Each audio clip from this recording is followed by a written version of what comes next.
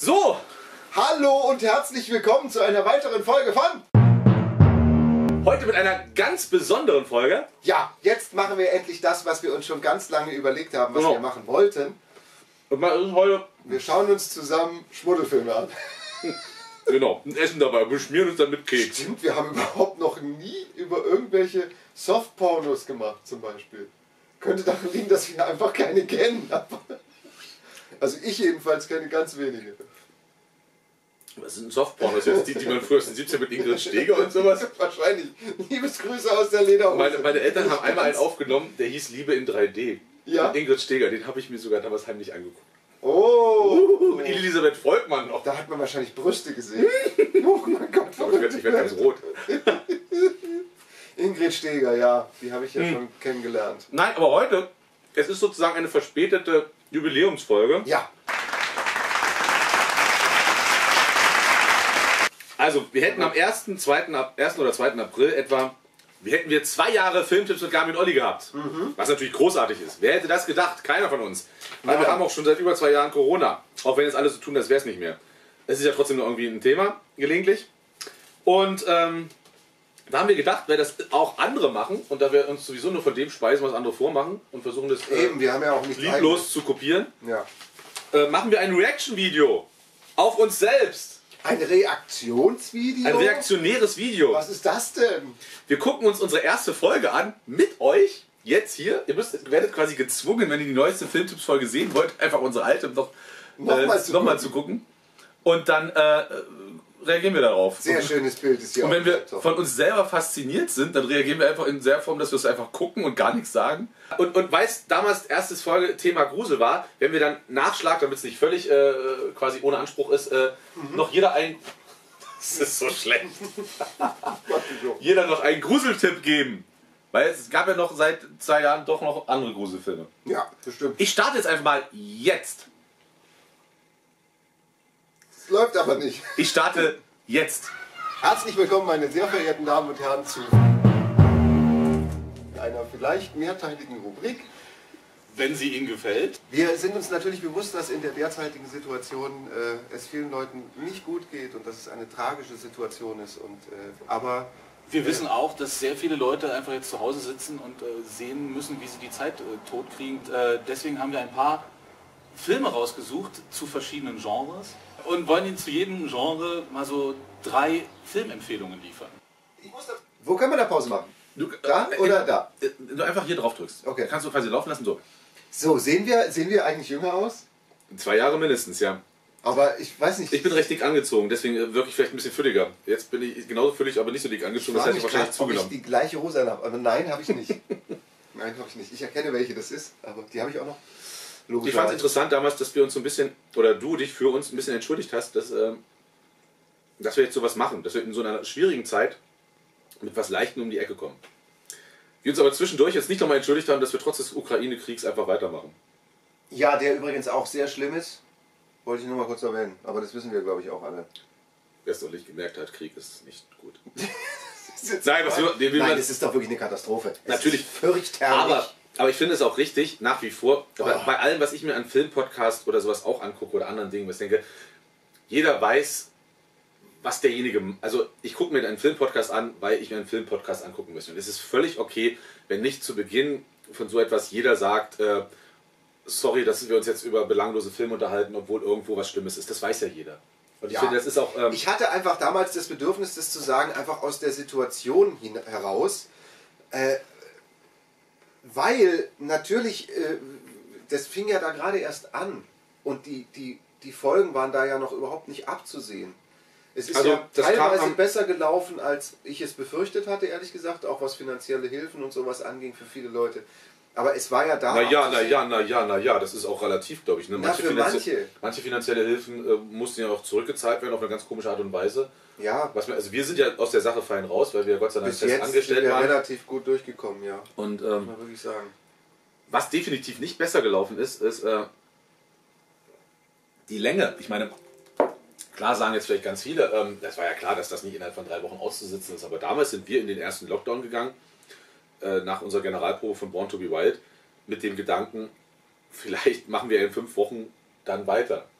Es wurde ja dann systematisch immer weiter verschoben, verschoben, verschoben und ne, dann wieder gemacht. Und äh, Ich muss mich jetzt auch nicht dafür entschuldigen, dass ich mich entschuldige. nein, das, war, das wollte ich auch nicht sagen. Weil, weil ich finde, es war einfach in dem Moment, hatte ich das Gefühl, dass das so ein bisschen unverhältnismäßig ist, weil es wirklich ja auch, ich meine, es sind ja viele Menschen gestorben und sowas. Aber es war ja, um nochmal zu sagen, oder ich weiß nicht, ob das, was du eigentlich jetzt im Vorfeld sagen wolltest, wie es dazu gekommen ist, dass wir einfach ja auch geguckt haben, das haben wir da gar nicht so richtig, aber dass wir das Theater auch immer geguckt hat, was kann man denn ins Netz stellen? Und wir gesagt haben, bevor wir jetzt uns hinsetzen und Texte vorlesen oder Szenen spielen über, aus verschiedenen Kameras, äh, machen wir doch lieber etwas, was auch von uns kommt, was zu uns gehört, was wir sind, Ja, nämlich sowas. Das war eigentlich der Gedanke dahinter. ja ich finde es übrigens witzig, man sieht hier unten Den Gliedermaßstab. Genau. Damit wir die zwei Meter, das haben wir extra hingelegt. Erstens, damit wir wissen, dass der Abstand stimmt. Und zweitens, Ja. damit die Leute, die Zuschauer sehen, wir halten uns dran. Jetzt heute halten wir uns nicht ganz so dran, aber die Situation hat sich auch geändert. Absolut. Und äh, haben uns ja dann auch zwischendrin, also ich meine, haben wir zwischendrin auch schon woanders wieder gedreht und sowas. Aber das war ja damals auch der Versuch, das an einem Ort zu machen, der sozusagen okay geht. Und es war damals, wenn du dann zu uns gekommen bist, du bist auch nicht in die Wohnung gekommen. Nee, wir sind da vor der. Tür geblieben, haben dann, dann noch ein bisschen gequatscht und dann bist du wieder gegangen. Ja. Soll ich mal weitermachen? Ja, mach mal weiter. Ins, das dauert ja insgesamt nicht so lang, weil wir haben das ja nie wieder hingekriegt, dass die ersten Folgen ja immer nur so neun Minuten gedauert haben. Ja. Und wir haben trotzdem über die Filme geredet und wir haben auch irgendwie. Wir haben anders über die Filme geredet. Ich Vielleicht haben wir auch schneller geredet oder wir sind einfach älter geworden und labern immer mehr Ich Dummzeug. muss dazu sagen, dass es mir sehr, sehr schwer gefallen ist, äh, mich auf drei Filme festzulegen pro Genre. Denn wenn man da erstmal drüber nachdenkt, dann fallen uns äh, gerade Wahnsinnig viel. Schön, unglaublich viele. viele Filme ein. Ich weiß nicht, ob Sie hin und her laufen. Wir sind ja sehr große Filmfans. Ich möchte fast sagen, wir sind Cineasten. Ja, wir sind Haben wir schon Cineasten. darauf hingewiesen, es sind übrigens nicht explizit unsere Lieblingsfilme. Ich habe das sondern leider. es sind, äh, weil wir das eben nicht benennen können, sondern es sind Filme, wo wir einfach sagen, die könnte man sich mal angucken. Oder wo man vielleicht jede eine persönliche. Bindung hat oder die besonders wegen irgendwas. Folge 1, Grusel. Meine erste Gruselempfehlung ist ein äh, Film aus dem Jahr 2009 des Namens Coraline. Ah, Und äh, jetzt kommt da das gleich ist ein Animationsfilm, es ein. Stop-Motion-Film, der mich schon aus persönlichen Ja. Gründen, weil ich selber weißt du es jetzt inzwischen? äh, fasziniert. Und das ist halt quasi Aber nicht das nur ein reiner Kinderfilm, sondern ist wirklich auch ein bisschen gruselig. Hast du den gesehen? Ich Ich jetzt ist. gesehen. Ein Satz, den ich häufig sage. Ein kleines Mädchen äh, zieht in ein neues Haus, findet da eine versteckte Tür, kommt in eine Art Parallelwelt, wo dieselben Menschen leben äh, wie in ihrer Welt, nur mit Knöpfen in den Augen. Und Hört mal wieder den Wind Ist raus. Aber wir haben wahnsinnig Glück gehabt. Das war ja ein, Ein Bombensommer? Also, oder Frühling. ich glaube, er ist ein bisschen von... Stopp! Ganz kurz. War ein äh, Bomben äh, Frühling. Wenn wir das jetzt.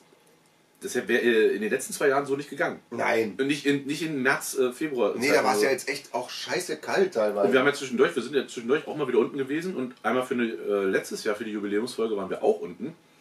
Dann sind wir ganz kurz runter, es hat ja geregnet und es geht gar nicht mit dem Mikro, was wir da haben. Also, dass es so funktioniert hat. Es Wobei wir, auch, wobei wir sehr lustige Konstruktionen, man sieht es in ein, zwei Folgen, auch sehr lustige Konstruktionen hatten, wie wir die Kamera quasi vor dem Schall schützen wollten. Mit, Oder mit Sonnenschirm und mit Mülltonnen und mit manchmal das Auto auch näher rangefahren oder so. Genau, und den Sonnenschirm hingestellt, damit der.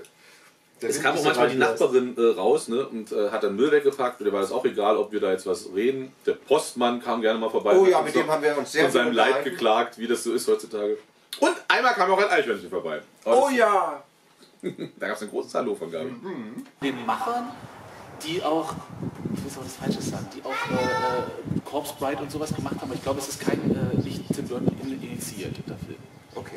Ja. Da hat Aber es ist, glaube ich, ist, glaub ich, nicht mal von den Machern von. äh, Und gab es sogar, glaube ich, damals das ist aus den Leica DVD-Fassung Studios und das sind, glaube ich, mit andere. zwei rot-grün 3D lauter dazu. machen? Da kann man sich vor sein, damals noch vor seinen eigenen Fernseher so setzen und dann hat man dieses leicht verschobene Bild und dann setzt man die Brille auf und alles ist rot-grün und sieht scheiße aus. Aber man hat so einen leichten 3D-Effekt.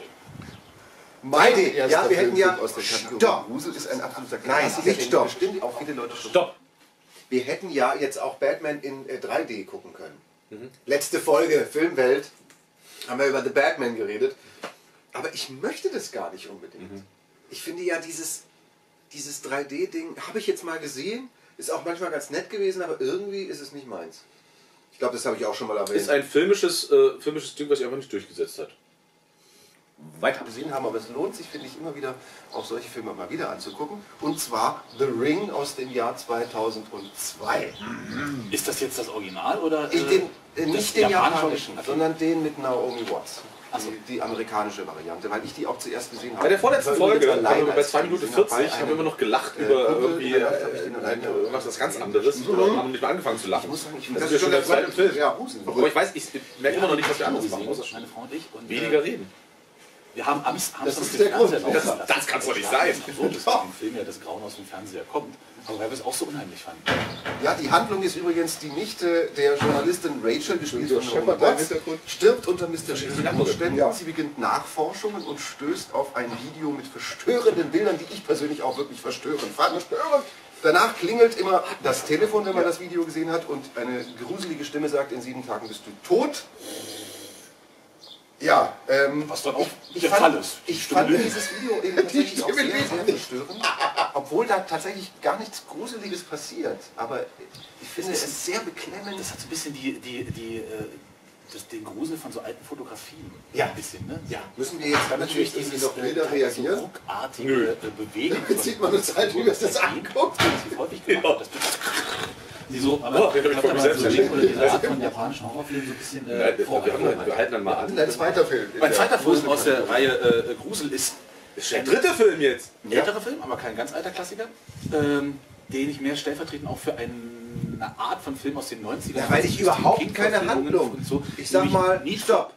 Weil ich natürlich überhaupt keine Inhaltsangabe Doch, gesagt habe. Ja, du hast keine ausformulierte Inhaltsangabe War gemacht. ein Satz. Du hast nicht dieses Professor Kemet da. Äh, Zum Beispiel, aber es war halt ein Satz mit dem Video, bla bla und zack und dann Genau. ist fertig. Dann Und- ist natürlich, und jetzt auch keinerlei Hintergrundinformation, ist ja auch nicht, muss man jetzt auch mal ehrlich sagen, lernt man weniger über die Filme als bei unseren längeren Folgen. hat natürlich auch nicht so viel Spaß. Also wenn man das sich zum Beispiel äh, oh, Samstag früh, äh, Frühstück, äh, Filmtipps und dann schaffen wir gerade mal einen Toast, ne, bei den alten Folgen. Ja, und bei den neuen Folgen, Da kann man auch noch einen zweiten Kaffee trinken. Ja, genau. Und einen Kuchen backen.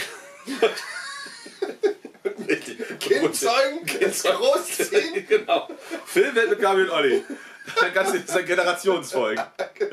Äh, soll ich weitermachen? Ja, mach mal weiter. Ich weiß gar nicht, was jetzt kommt. Weißt du denn noch, was du für Filme vorgestellt hast? So das bist ja jetzt du. Du bist ja der Nächste. ja, aber du hast ja einen vorgestellt. Weißt du noch die anderen beiden, die du vorgestellt hast? nee, Aus- weiß ich nicht mehr.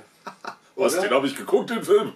Ich weiß gerade auch nicht, was kommt. Cool Things in einer kleinen Stadt. Ah, nie Ah, Aus dem Jahre 1993 mit äh, Christopher Plummer. Ich hab auch immer mal gedacht, mal, Plummer äh, als quasi Teufel. Stephen An King dieser Special Stelle muss ich leider etwas revidieren, aber Recherchen haben ergeben, dass der Teufel nicht von Christopher Plummer, sondern von Max von Sydow. Max von Südow. Ja. Die man immer wieder miteinander verwechselt. Ne? Hatten wir, hatten wir äh, jetzt lange nicht mehr, dass äh, wir nachträglich noch irgendwas, weil wir Wollte wirklich klüger sind. Nee, weil ich einfach keine Lust mehr habe, immer noch was aufzunehmen. Äh, Gut, wir ich lassen, die schneide, Fehler, ich, wir lassen die ich, Fehler einfach drin. ich schneide die Fehler raus. Oder so. Ich schneide jetzt öfter die Fehler raus und korrigiere sie nicht mehr. Sondern, ah, mit dumm Gerede, aber so eine gute Möglichkeit, das rauszunehmen. Nee, manchmal lasse ich manchmal mache ich es auch mit. Äh, manchmal mache ich es auch noch, aber ursprünglich dachte ich mal, dass das vielleicht so etwas äh, in jeder Folge wiederkehrendes war, was auch am Anfang so ist. Aber ich habe es dann irgendwann mal äh, nicht erzwungen. Also manchmal habe ich da wirklich Sachen rausgeschnitten. Bei, bei den Anfangsfolgen, die sind ja auch. Da habe ich auch nicht so viel rausgeschnitten. Also die, die ist jetzt nicht so, dass wir da auch da dreiviertel Stunde geredet haben. Und Nö, da haben wir Dann- viel, viel kürzer. äh, es ist einfach viel kürzer gewesen. Da haben Ja. wir, also die Kamera hat damals noch gereicht für eine Folge. Den Gestalter Ja. eines alten Mannes äh, einen Laden, äh, nämlich Needful Things, äh, in einer Kleinstadt aufmacht, einer typischen amerikanischen Kleinstadt, wo jeder jeden kennt und äh, alles über jeden weiß. Ich weiß es nicht mehr genau. Ich habe ihn auch lange nicht gesehen, aber der steht für so eine Art von auch manipulativen Grusel, wie Menschen sich halt verhalten können, wenn äh, gewisse Dinge in Kraft treten. Der schenkt den Leuten Sachen, der sagt dann, dafür machst du mal das für mich und das und der, die, der greift die Leute da an, wo sie äh, verwundbar sind. Das wo sie passieren. Ich habe noch Klug. Inneren. So, Mein, zweiter mein zweiter Tipp ist ein absoluter Klassiker. Ja? Shining ich habe so überlegt, was mache ich? Es ist wirklich ein, ein Klassiker, 70ern. nicht nur des Gruselgenres, sondern der absolut der Filmgeschichte, kann man sagen. Und zwar Shining Ja. von Stanley Genau. Kubrick Ein- aus dem ein- Jahr ein Otto nahm seinen 1980. Lauf. Hättest Auch Stephen King. Auch eine Stephen King-Verfilmung. Hättest du gedacht, dass der Film von 1980 ist? Hätte jetzt. Den auf jeden Fall Mitte 70er oder, Na, beide noch so 70er oder spätestens. Diese, diese Falle tappe ich immer wieder. Ich sag aber auch immer dasselbe. Naja, weil der wahrscheinlich vorproduziert wurde in den 70ern noch. Deswegen sieht hat Jack Nicholson noch seine 70er Jahre Frisur. Ja, aber er wirkt sehr 70er Jahre mäßig. 1980, weißt du, dann ist der ja quasi auch Ist ja quasi noch, ja. Ist ja 1980 ins Kino gekommen. Aber es klingt anders. Die sind ja nicht von dem äh, Overlook Hotel weggefahren und haben gesagt, jetzt gehen wir ins Kino. Aber das war mein Und der musste ja absoluter noch nachproduziert werden. äh, Postet, hier Jack. Torrent oder wie er heißt, in dieses Hotelzimmer geht, wo man nicht reingehen soll und diese alte Frau rauskommt, verwest und dann so lacht. Ah, das fand ich. Ah. Ich finde den Film insofern Hast du eigentlich Dr. Dings gesehen? Hm? Na, den, die, quasi die, die zweite, also die Fortsetzung mit Hugh McGregor. Dr. weiß ich nicht was. Nee. Auch gar Weil nicht. der. Titel jetzt auch nicht so. Hilfreich ist, ob ich den gesehen habe. Doktor? Also wenn, wenn, wenn, wenn du ihn gesehen hast. Chicago? Nein, es, ist ein, es, gibt ein, es gibt quasi eine Fortsetzung von dem Shining-Film, der auch auf einem Roman von äh, Stephen King basiert. Ich weiß nicht, wie er heißt. Und spielt Ewan McGregor quasi äh, den äh, kleinen Jungen als Erwachsenen. Aha! Und ich dachte erst, es ist ein, ein sehr viel. Ist ein guter. Ich fand ihn gar nicht schlecht. Also ist jetzt. Es ist halt auch wieder so ein übersinnlicher Grusel, hat ja auch immer manchmal was mit Logiklöchern und sowas. Also richtig.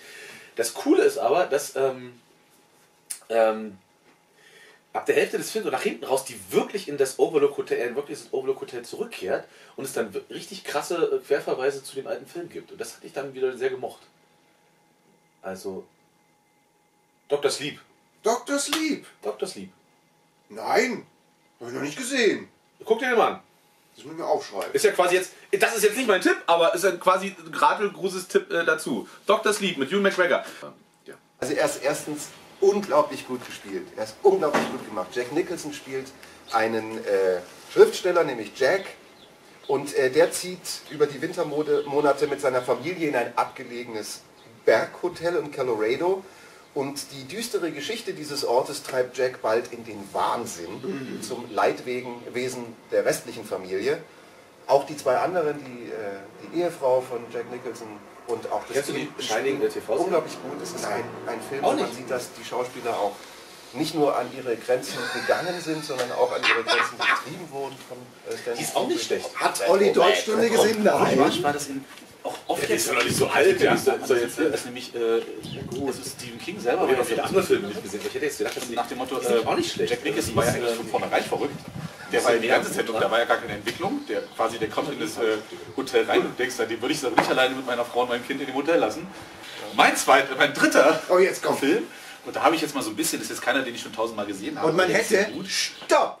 Man hätte natürlich über Shining noch Stunden reden können. Ich hätte dich schon mal für damals fragen können, ob du die TV-Serie gesehen hast. Hättest du zum Beispiel, hättest du wahrscheinlich jetzt heutzutage auch gemacht. Ne? Weil- jetzt gerade. Ähm, die Frau mir in der Serie besser gefällt und ja, der, der, der Typ ist auch toll in der Serie, finde ich. Also er macht das gut. Aber Jack Nicholson halt Jack Nicholson. Weißt du, ob der jetzt die Figur aus dem Roman besser trifft, ist wahrscheinlich nicht mal so der Fall. Aber Jack Nicholson ist halt per se irgendwie ein Psychopath, wenn er da so äh, Ja. vielleicht sogar ein bisschen zu viel, weil Jack Nicholson von, ist ja eigentlich von vornherein eine Gefahr. Wie du das so sagst, ja, der wirkt natürlich von Anfang an nicht mehr Also so der muss ja einmal nur von, von, so, von unten nach oben so und einmal lachen, dann denkst du schon so, äh, Okay. Was wollte ich jetzt noch sagen?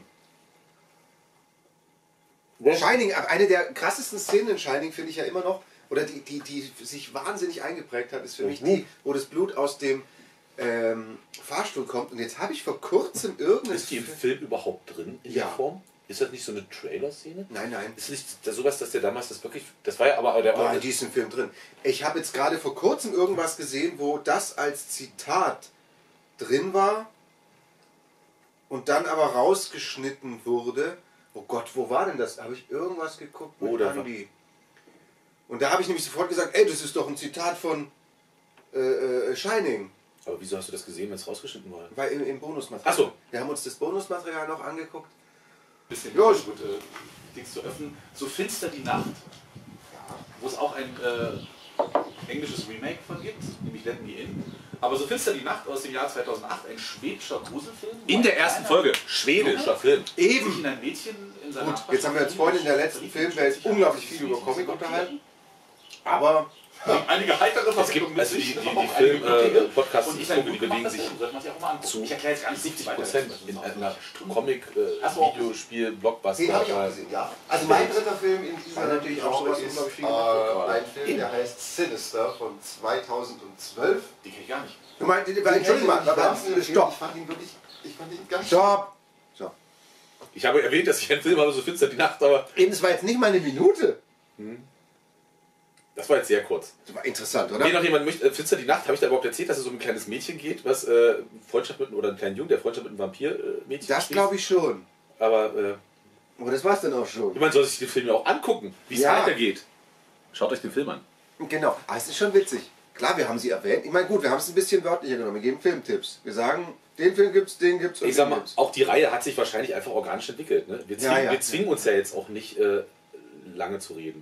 Nee, gar nicht. Wir Das ist sind halt einfach das, was so. es ist. Wir sind halt so. Weiter. Stimmt. Ich- Das ist wirklich. Schlimm im Sinne von gut gruselig. Ja, gut gruselig, aber das ist der, finde ich, schlimmste von den dreien, die ich vorgeschlagen habe. Ich fand den wirklich sehr, sehr gruselig. Aber sind ja, das jetzt übrigens wirklich gruselig. äh, alles, das sind alles Filme, die nicht durch, äh, also die Der mehr ist so Suspense, äh, Der ist so dazwischen, weil es gibt schon auch Szenen, die sind äh, wirklich Horrorfilmmäßig, Also, wo man aussieht, Ja. wie irgendjemand von einem Rasenmäher zerstört wird. Oh, Auch wenn wir dann ist aber vielleicht von den äh, Ja. Zuschauern, falls jemand sich das in Länge anguckt, äh, neue In Länge. Zu, äh, zu diesen kriegen, die wir unsere Filme äh, nennen sollen, gibt es ja wirklich viele Wer von euch hat denn damals schon die erste Folge direkt gesehen? Wer ist denn Fan der ersten Stunde? Ja, das wäre Schreibt's in die Kommentare. Genau. Also wir waren damals schon dabei. Feinde. Bin gespannt, auf welcher Folge ich da mit jemand anders sitze oder du mit jemand anders. äh, Krimi-Autor. Nicht Ich geben. von Ethan Hawke, Ich finde, er macht das ganz toll. Der Dass von endlich suchen muss, bis irgendjemand anders auch Gabriel heißt. Familie brutal ermordet wurde und er findet eine Kiste mit Super 8 Filmen auf dem Dachboden, die eine Die gruseligen Super 8 Filme wieder. Du bist immer noch beim Reden und jetzt geht nur noch 27 Als Sekunden. er zu ermitteln beginnt, Ja, wir sagen Tschüss. sich unheimliche Vorfälle. Der ist wirklich gruselig. Ich fand ihn wirklich gruselig. Das ist eine Empfehlung auch für mich. Ich kenne ihn nicht. Biene, kennst du ihn? Hast du ihn inzwischen gesehen? Ich kenne ihn auch. Nein. Hat sich ja gelohnt, dass ich ihn als Tipp gesagt habe. Ich würde, fast verm- ich würde fast vermuten, dass ich mehr Filme gesehen habe, die du vorgeschlagen hast und die ich noch nicht kannte als Ja, du. das stimmt, das stimmt. Prisoners! Wahnsinn! Das hat Spaß gemacht. Das war ja schon. Das war ja die erste Folge. Unsere Reaction-Folge. Also krasse Scheiße, sag ich mal. Das war die erste Folge. Und, äh, und sie hat immer, ist immer noch toll. Sie ist mal eben was für zwischendurch. Sag mal, die kann man sich auf dem Klogang anschauen. Genau. Fürs kleine Geschäft auch. Das andere ist dann schon. Die letzte Film Filmweltfolge ist ja keine Klowitze mehr. Soll ich mal, äh, ich habe noch einen Filmtipp mitgebracht, Willst du anfangen? weil du noch kaust. Deswegen, Dann bitte, damit, die Folge, damit die Folge nicht jetzt aufgrund der zwei Folgen Filmtipps noch eine Dreiviertelstunde geht. Ähm, äh, ich hab, äh, den, den Film habe ich nicht nochmal geschaut, den habe ich vor bestimmt einem Jahr, eineinhalb Jahren gesehen. Äh, er heißt äh, Scary Stories to Tell in the Dark. Und äh, ist eine, ähm, ein Horrorfilm von André Övredal Kenn ich überhaupt aus dem nicht. Jahr 2019 und äh, basiert auf, äh, auf äh, Büchern von Alvin Schwarz. Äh, Gruselgeschichten, also Gruselgeschichten, aber von einem Kinderbuchautor. Also das sind eher so, so, so glaube ich, so. Es sind keine Hardcore-Gruselgeschichten, aber sie, ich mochte den sehr, weil das ist so ein bisschen episodenhaft. Also da finden Kinder irgendwie ein Buch und dann, wenn daraus gelesen wird, oder wie, ich weiß nicht mehr genau, werden so Ängste, also das Buch liest die Ängste der Kinder und vor was immer, und das manifestiert sich dann. Dadurch das, hat das so einen episodenhaften Charakter, auch wenn es irgendwie alles zusammenhängt. Da verwandelt sich ein Junge peu à peu in eine Vogelscheuche. Da hat ein Junge mal Angst vor so einer lächelnden weißen Frau, die, äh, die dann plötzlich auftritt und überall erscheint, die diese ganz komische, äh, ganz komische Ästhetik hat.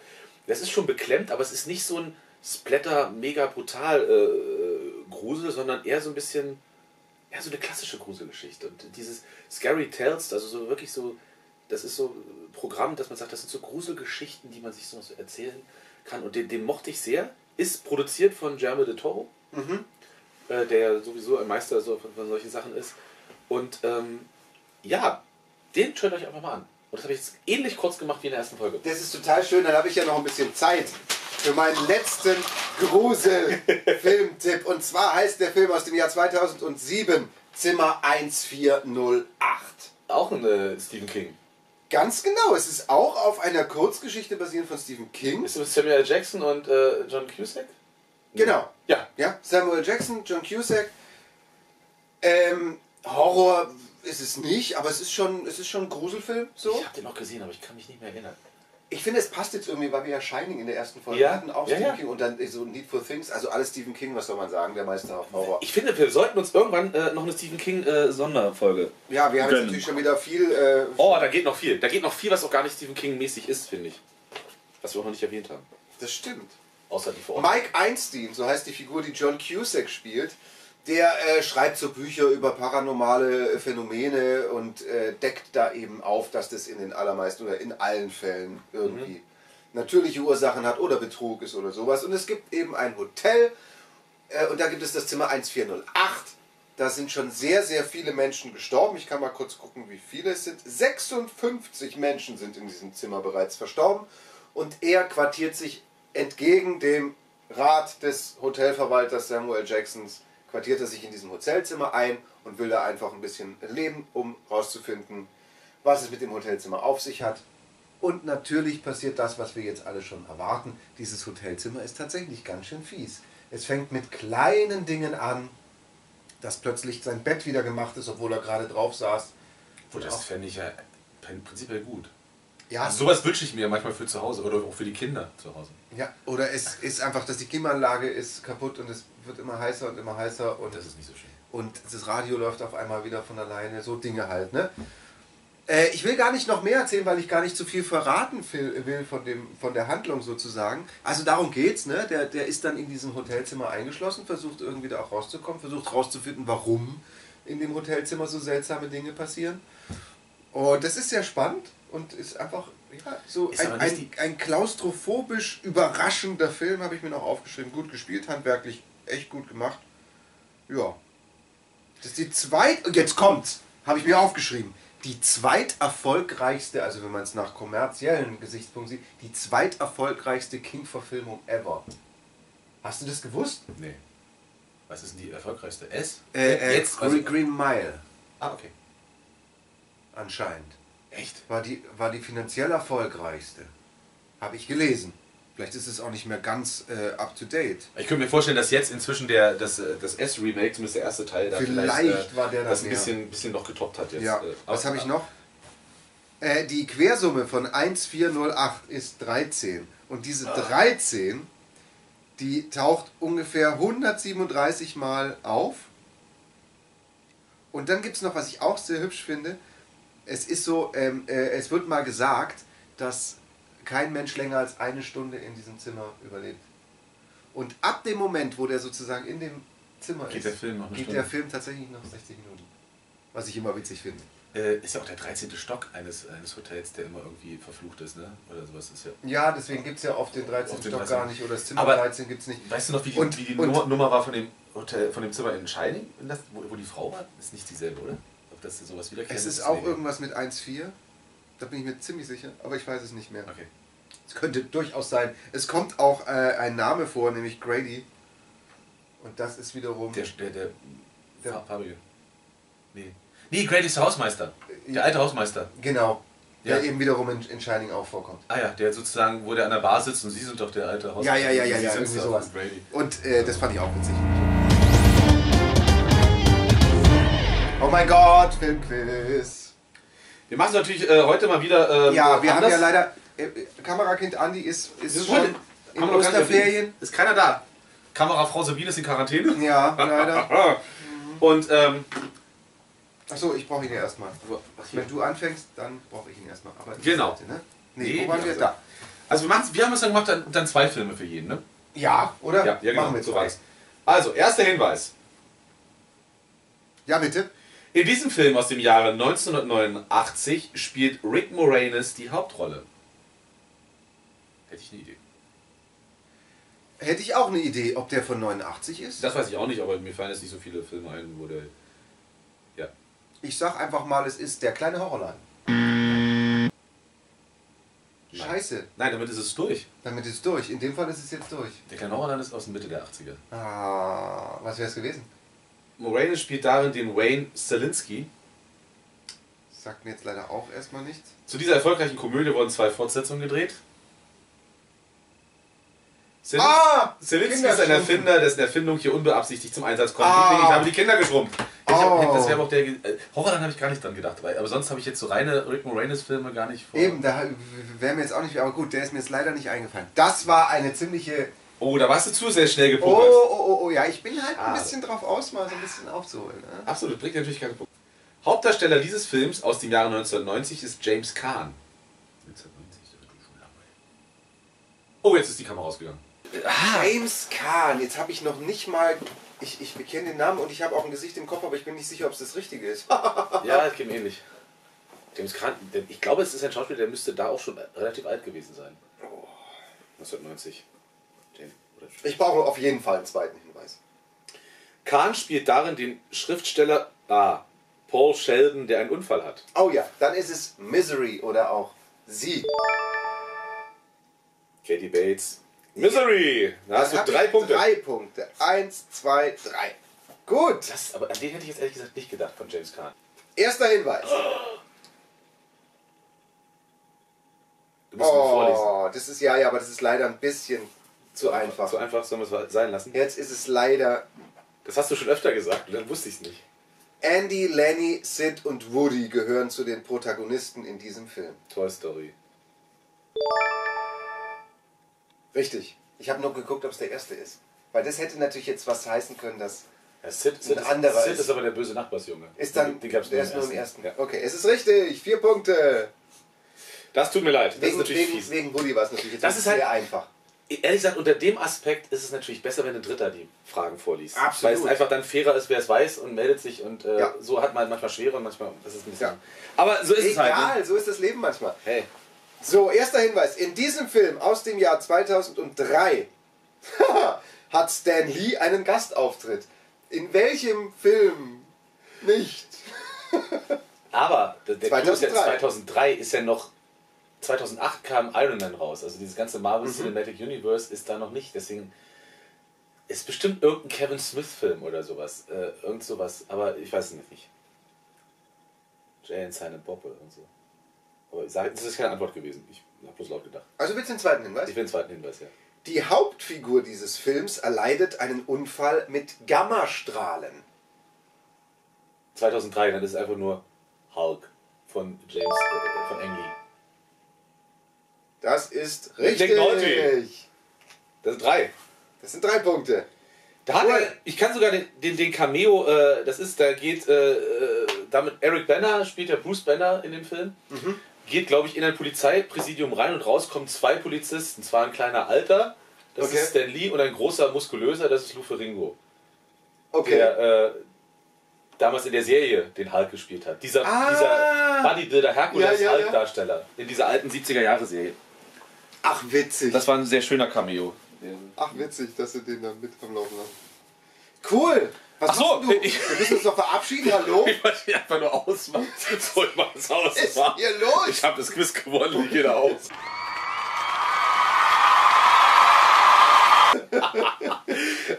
Also das war unsere, unsere zwei Jahres Jubiläumsfolge, auch wenn die jetzt äh, zwei Monate oder ein Monat zu spät äh, Ja, Kommt. zwei Jahre machen wir das schon. Und ihr treuen Fans, sprich nach da, jetzt ist die Kamera. ihr treuen Fans, ihr seid einfach total treu. Und Fans. Fans. Immer noch da. Und ihr Im Gegensatz zu meiner Kamera. Ja. Also das war sehr schön. Wir hoffen, ihr hattet auch ein bisschen Spaß. Äh, ihr könnt euch natürlich auch jederzeit nochmal in Ruhe die erste Folge angucken, weil wir jetzt so viel dazwischen gequatscht haben. Ja, eben, oder auch die eben. zweite oder die dritte. Oder die fünfte oder die vierte, 78. siebte, 78. wäre auch Die mal wieder schön. 112.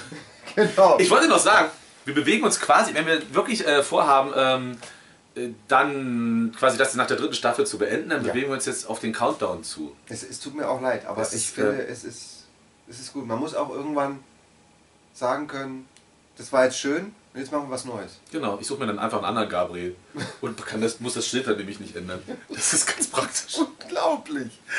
Nein, aber, aber die Filme machen wir dann schon noch. Ja, natürlich. Und wenn wir, und wenn wir dann aber sagen, aber einem- man muss auch mal was Neues Wenn wir dann aber nach einem Dreivierteljahr sagen, oh, das wäre doch aber ein schönes Thema gewesen für die Filmtipps, dann machen wir die einfach auch nochmal, wie so eine Band, die dann trotzdem nochmal ein Album macht. Eben, wir müssen ja, wir können ja einfach sagen, wir hören auf und Ja. dann machen wir mal eine Genau. Comeback-Tour. Wie Bruce Willis, der vergessen hat, dass seine kognitiven Fähigkeiten nachlassen und er trotzdem Genau, noch einen Film trotzdem dreht. Alles klar. Tschüss! Das war super. Bis dann.